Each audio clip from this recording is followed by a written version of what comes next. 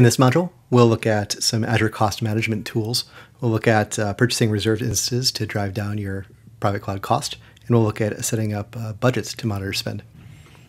All right, so from our Azure portal, we're going to go to the search bar and type in reservations. Okay, in our account, we have no reservations yet, so we're going to purchase some new ones. And we're going to select the Azure VMware Solution type. We have a couple of different ways that we can consume these. Uh, we can pay up front for one year, we can pay monthly for one year, we can pay up front for three years, or pay up front or uh, pay monthly for three years. We're going to go with uh, one year monthly for reservation. It's going to tell us that by doing this, we'll get a 26% estimated savings. Not too bad. Add that to the cart. Uh, we can select how many nodes we want to purchase the reservation for. We have three deployed, so we'll stick with just three and click through to review and buy. Uh, confirming that we will be charged. That's cool. Someone else pays for this anyway. There we go. We've purchased reserved instances. If you go to browse, we can see the reservation here inactive. And we'll go through some of the configuration options here. Configuration, we have a scope. A scope by default is shared. Um, this means that you may have multiple resource types or resources in the subscription that this might apply to. This is going to um, apply to any eligible objects. Um, that's the way our account owner has asked us to create these, so that's how we'll do it. Um, we can scope this down more narrowly. We can say this reservation will only apply to AVS nodes deployed in our subscription, or we can say it will only only apply to AVS nodes within a specific resource group that we choose. But again, um, our organization likes us to use shared, so that's what we're going to do. We have options for setting renewal. Um, we're not going to automatically renew this, but you could if you'd like to. Simply check that box and hit save. And here we can see the um, other properties of a reservation. Uh, effective date, when it was created, when it was last updated, when it will expire.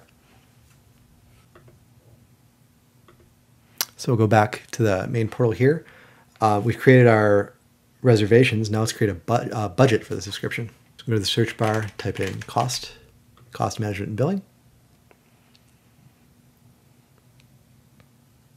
And budgets. You'll see when you do this, and I created out here, it will scope it to sp the specific user you've logged into. So this will be budgets for me. Um, I don't want to set a budget for me. I want to set a budget for the subscription. So I'm going to change that scope. Go to my root management group and select the subscription that I care about. select the subscription. Great. Now I'm looking at budgets for my subscription. And I'm going to create a new budget here. I'll give it a name like uh, VMworld Demo budget. Uh, reset monthly. Here's what it's created. There's an expired. That all looks good. Scroll down. We'll give it a budget amount. We know that our node cost here is, a, is around 13,000 per month. So we'll set the budget to 15 just to allow us a little bit of breathing room for other um, environments we need to spin up. Now we'll set some alerts. So the alert condition is going to be based on our actual usage. So to 95% of the budget. And we'll have it send an email to our shared group, which is this one here. Uh, email us if you want. We'd love to hear from you. Don't sign us up for like mailing lists though. That'd be that'd be weird. Um, and language preference default. That looks good. We'll create. Great. Now we have a budget, and when we hit that 95% consumption, we will get an email. All right. To recap, in that demo, we went over purchasing reserved instances and creating uh, a budget and alerts. In our next demo, we're going to go through configuring Azure policy tags and resource locks. Thank you.